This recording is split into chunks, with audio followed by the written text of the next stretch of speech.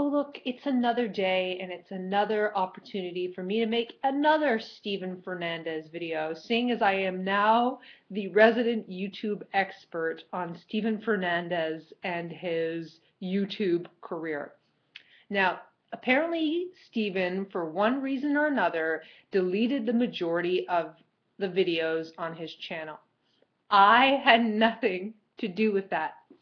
If I had that much power on YouTube, I would make myself the number one most subscribed channel on YouTube, not just for this channel, but for my other channels and all the hard work I've been doing for the last two years. So rest assured, young people, I had nothing to do with Steven removing his videos. And please don't say he deleted his channel. He didn't. It's still there.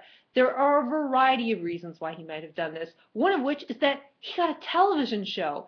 And when television networks acquire talent, sometimes they acquire their assets as well, and they dictate what can or cannot be done with those assets. So assets meaning something they own that has value and something that the talent or the star owns that has value that pertains to their show or their brand. So then when you sign with the network, they take that and they own it. So they might not want have wanted him to have those videos up. Who knows? Or he could have just gotten in trouble with his parents and they forced him to take it down, or YouTube saw that it was a 12 year old with a bare bottomed model and said, hey, we can't allow this on YouTube, and they shut him down temporarily. But I am pretty sure he's going to be back. Now, to address a comment I got from Picked First for Kickball, good for you. I was never picked first for kickball. he asked, or she asked, I'd like to know what the underlying cause of your need to dictate and control other people's lives and actions is. It would be actually are. But I don't have the need to dictate other people's lives. However, I feel that I have a right as an adult to stand up for reasonable rules and regulations. And I know teenagers, and what I had written in the response is that, that this response that Picked First for Kickball wrote was so incredibly teenaged because teenagers don't understand why there are rules. Teenagers are in the time of their life where they are questioning authority and they believe that authority just serves to limit their freedoms to go out and party and have fun and socialize and get boyfriends and girlfriends and have sex and try smoking and drinking and all that other stuff. But no, it's because without rules, there's no social control or order. And as you have seen in problematic neighborhoods, when nobody's around to stand up and have standards and guidance for youth, there are problems. When kids are allowed to do whatever they want at 13, they get pregnant, they get drunk, they get in gang fights, they get killed, they ruin their lives. However, when there are adults around who say, hey, no, you can't start having sex, especially without a condom, until you're, say, I don't know, at least 14, 15, even that, that's young. Um, no, you can't drink on a school night when your brain, your rational brain hasn't stopped developing. So it's just me as an adult and as a parent. This gets into the second part of this person's questions. Um, are you, so why do you need to dictate and control other people's lives and actions? Are you not able to have kids of your own? For God's sakes, I actually have a kid, which is more of a reason why when I see 12 year old who's the same age as my son acting like a little misogynist or not even just misogynist because then you'd be like oh you're a feminist because none of you not none of you a lot of you young men are completely ignorant as to what feminism is and it's not about being a man hater. It's about searching for equality. Um, but it, when i see a young man behave in a negative way towards women and in a sexual way at a age when he should be watching my little pony or I don't know, skating, just skating in a skate park and like filming himself doing stupid tricks or like climbing up trees. And I don't and I don't I don't even want to hear anymore about you guys saying, "Oh, well, ghetto life, man. Thug life growing up in Compton." So what?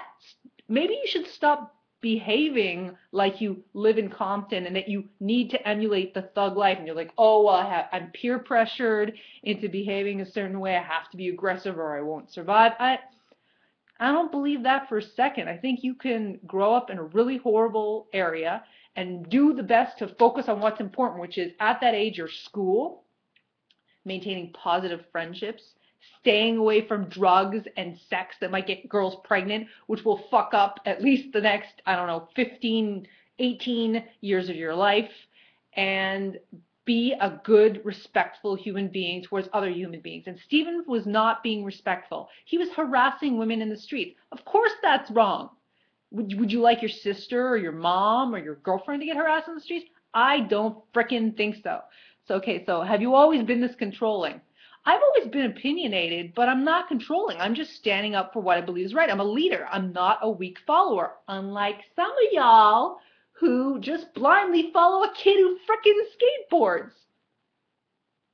Being a leader is standing up for things that are right and that are fair and that are good and that are positive. And that means frequently that you are not going to be liked. But I'm prepared to not be liked when I'm protecting kids, children. Okay, so uh, what what you do you suppose gave you the right to coerce others into having him take down his videos? I didn't coerce anyone. Do you even know what coercion means? There, there was no coercion that occurred. There was simply me making a series of videos because I thought what he had on his channel was wrong given his age. Um, are you his mother? I am not his mother.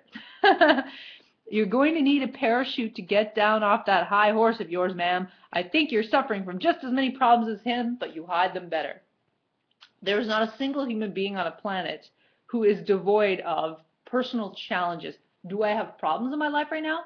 Actually, no. Other than wanting to be paid more to be a commentator, radio host, activist, actor, and model, I don't have problems. I, I work very hard to not have problems. And actually, it's easy to not have problems if you live your life the right way and you focus on treating other people better and treating yourself well and having something called moral integrity, which means not abusing other people for the lulls. So that's my huge rant this early in the morning about Steven Fernandez. And I don't even wish him ill. I just don't want him acting like a jerk when he's 12 or a jerk period. Like if it was comedic and it was clear, it was funny, and he had permission from other actors in his videos, I'd be okay with it.